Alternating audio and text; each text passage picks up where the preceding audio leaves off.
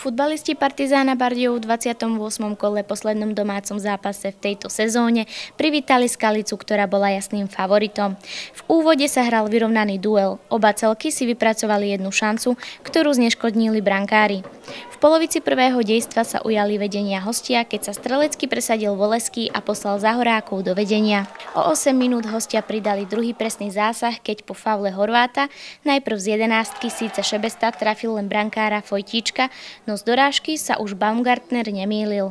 Po zmene strán chceli síce partizáni ešte skôre dorovnať, no už v 53. minúte Kousal strelil tretí gól zeleno-bielých a bolo víťazovi rozhodnuté. V závere ešte po samostatnom úniku mohol znížiť Panadič, avšak zakončil veľmi nepresne.